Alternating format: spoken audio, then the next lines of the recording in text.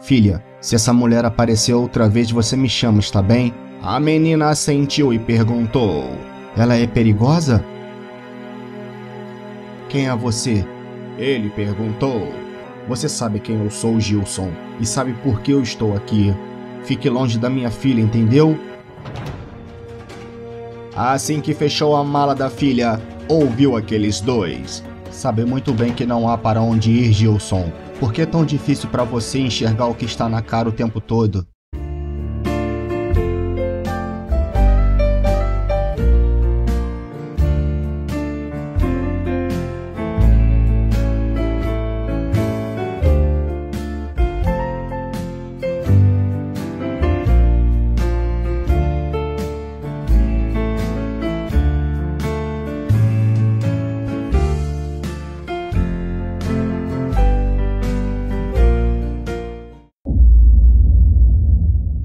Pensei que estava com medo da moça. Que moça, Liz? Ela se virou na cama e respondeu: A moça que fala que você tem que me deixar ir. Liz tornou a se virar e viu o pai a encarando. Ele, por sua vez, esperava que a filha começasse a rir, transformando aquela história numa brincadeira de criança. A menina não riu. Gilson não saberia agora se iria conseguir se convencer de que era apenas uma mente cansada lhe pregando peças. Alguma coisa perturbadora estava acontecendo naquela casa. Uma coisa que por hora ele não conseguia explicar. Me deixar ir para onde, pai? Liz quis saber. Gilson não respondeu a pergunta, muito porque não fazia a menor ideia. Mas isso era a última coisa que o preocupava. De onde veio essa mulher, Liz? Ela tocou em você, falou mais coisas? A menina ficou assustada com o ríspido tom de voz do pai. Se ele falava assim, significava que ela tinha feito algo de errado. Gilson percebeu e conseguiu conter o seu ímpeto. Se as coisas já estavam difíceis, ficariam piores se a menina ficasse com medo da casa e, sobretudo, dele.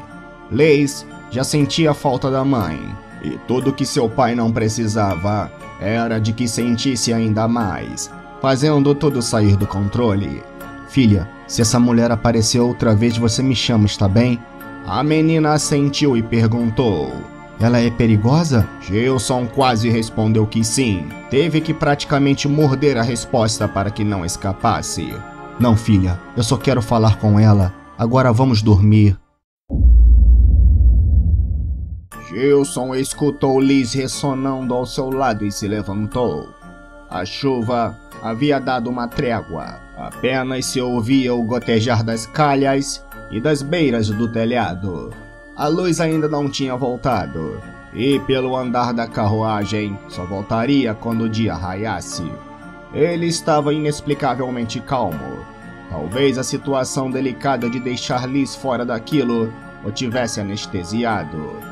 Ela estava parada ante a janela. Parecia uma sinistra pintura disposta numa moldura.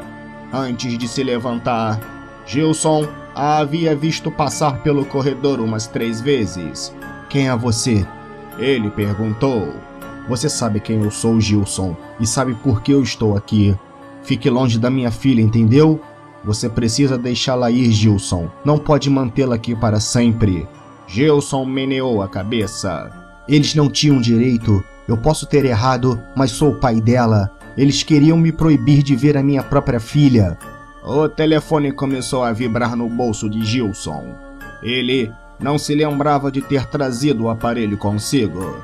Certos hábitos se tornam imperceptíveis. Só que a surpresa não era essa, e sim como o celular destruído voltou a funcionar. Diante da incredulidade e da incerteza de Gilson, a mulher falou: Atenda, Gilson. Talvez ainda não tenha compreendido.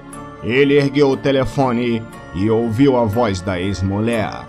Ela estava desesperada e por isso era difícil identificar o que dizia, mas em meio às lamúrias de uma mãe devastada, um trecho que ficou bem claro. Você não tinha esse direito, Gilson. Não tinha esse direito. Era você que não tinha esse direito. Ele gritava. Você quis tirá-la de mim. Eu fiz o que qualquer um faria. Ela não vai ouvi-lo, Gilson. uma nova pessoa se assomava à sala. Era um homem com uma aparência serena. Lembrava os pediatras legaizinhos que viralizavam nas redes sociais. De onde havia surgido, Gilson não fazia ideia. Assim como você não pode mais consertar o que aconteceu, precisa abrir os olhos e deixá-la ir. Gilson meneava a cabeça. Para ele, só uma coisa estava clara agora.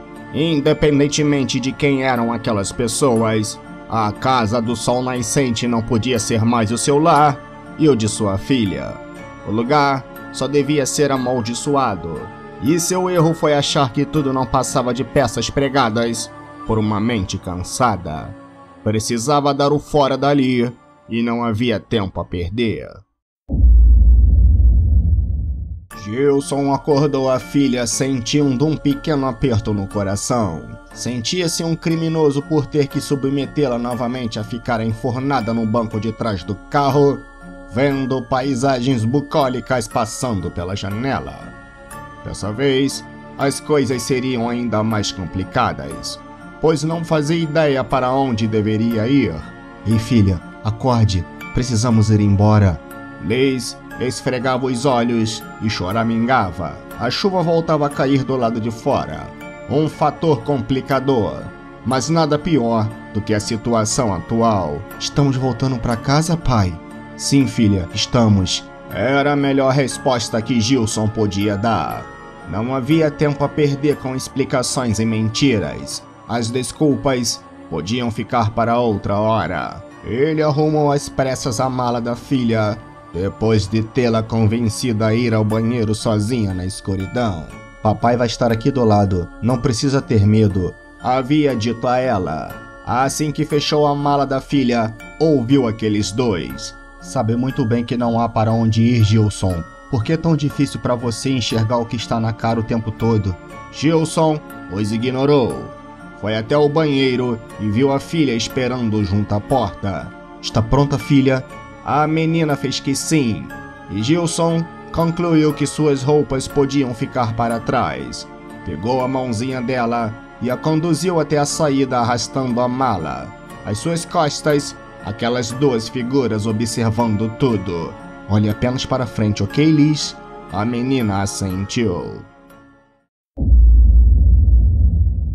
A situação de pressa o fazia se lembrar daquele dia. Ele andava de um lado ao outro no corredor da escola. Os alunos que passavam por ali e lhe lançavam olhares eram figuras que poderiam testemunhar contra ele futuramente. Por isso, evitava ao máximo o contato visual. Pai! Liz correu em sua direção quando a professora abriu a porta da sala de aula. Foi uma cena que fez com que lágrimas se acumulassem em seus olhos.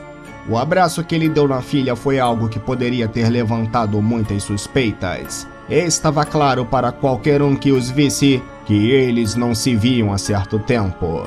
E se não se viam há certo tempo, talvez a mãe não soubesse que o pai de Liz veio buscar a menina mais cedo. Gilson até planejou não agir de forma tão veemente, mas foi impossível evitar. O corredor da escola de repente havia se tornado o caminho mais longo de sua vida. A qualquer momento, alguém podia o interpelar e dizer que ele não tinha autorização para sair com a menina. Mas isso não aconteceu. Assim que cruzou o portão da escola ao lado de Liz, veio a melhor sensação que podia sentir depois do caloroso abraço da filha. A de que ninguém poderia separá-los agora. Quer fazer um passeio, Liz?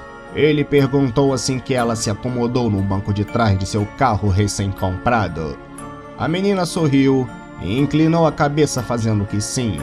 Perguntou se ela poderia colocar o vestido da Elisa da Frozen.